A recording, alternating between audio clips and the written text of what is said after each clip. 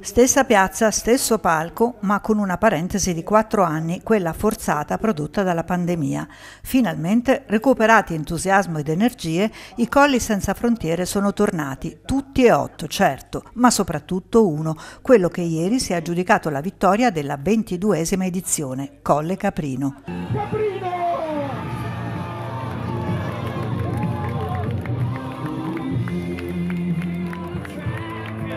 87 sono i punti di Colle Caprino. La kermesse era iniziata venerdì con la presentazione e la benedizione delle squadre in Largo Madonna, poi il teatro dialettale, gli stand gastronomici e la musica e due giorni fittissimi di gare tra tornei di carte, caccia al tesoro e giochi di abilità.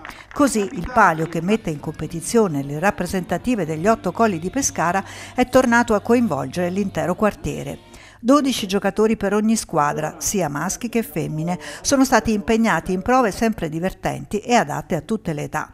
Nel 2019 erano stati i celesti di Colle Scorrano ad aggiudicarsi la vittoria, mentre quest'anno il trofeo, la scultura ideata da Pino Dolente, è passato a Colle Caprino, che lo terrà in amorevole custodia fino alla prossima edizione. La competizione non manca, si combatte duramente per portare in vetta il proprio colle di riferimento, ma ci si sente comunque parte di un unico gruppo e di una realtà ormai storica, visto che la manifestazione è nata nel 1996 per volere e idea dell'associazione Castellammare in Festa, affiliata al Centro Sportivo Educativo Nazionale e presieduta oggi da Federica Mambella. Grazie di essere qui con noi, buon divertimento.